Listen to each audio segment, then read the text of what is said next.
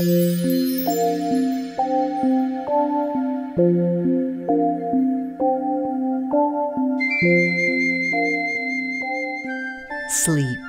renewal, refreshment, revitalization.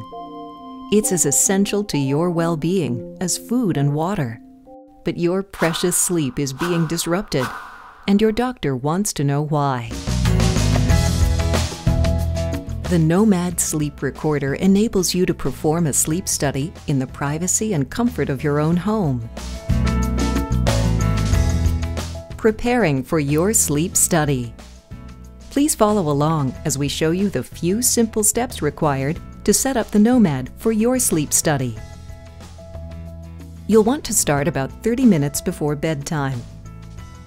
We recommend that you wear comfortable, loose-fitting pajamas, as the Nomad will be worn over your clothing.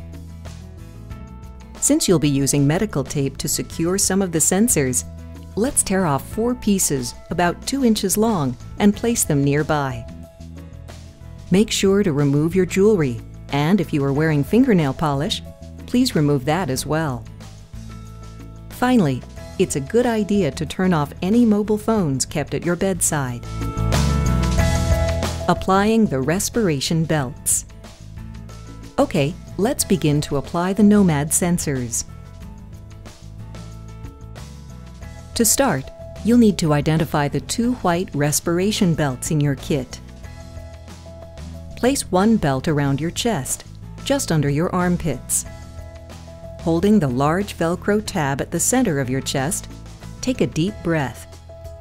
After you exhale, Bring the small Velcro tab over the larger tab and fasten the ends so that the belt fits snugly but remains comfortable.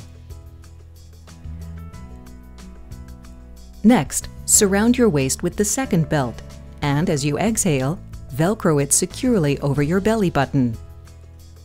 Can you see the two snaps on this belt? You're going to attach the abdomen sensor to these snaps.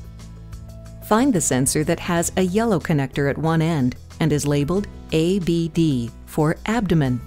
At the other end are two snaps. These snaps will attach to the snaps you just found on the belt that's placed around your stomach. Next, find the sensor that has a blue connector and is labeled chest. This sensor will attach to the belt that's around your chest.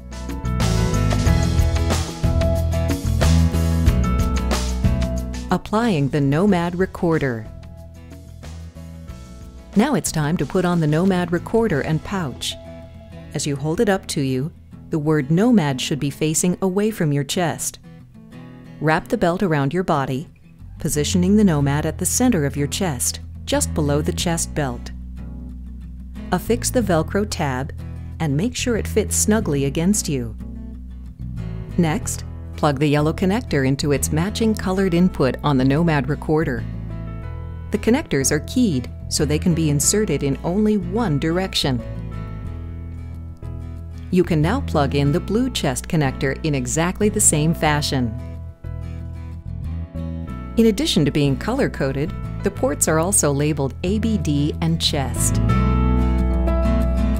applying the airflow tube and breath sensor. Now we're ready to connect the airflow tube and breath sensor, which will measure the amount of air you take in and out when you breathe.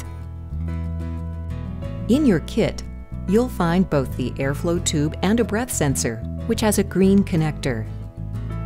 Simply place the prongs into your nose and loop the two wires around each ear. Tighten the wires comfortably under your chin making certain that you can swallow easily. Please readjust if necessary. Next, use two pieces of the medical tape you prepared earlier to secure the airflow tube and breath sensor wire to your cheekbones. Then, plug the green connector from the breath sensor into its matching input on the Nomad recorder.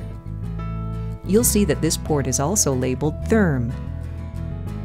The airflow tube will connect to the white Luer lock which is located at the top of the Nomad. Simply push it in and twist to the right to make sure it's tightly connected. We've labeled this port Airflow. Applying the finger probe is the last step of our setup. Ensure that all jewelry and nail polish have been removed before you do this final step.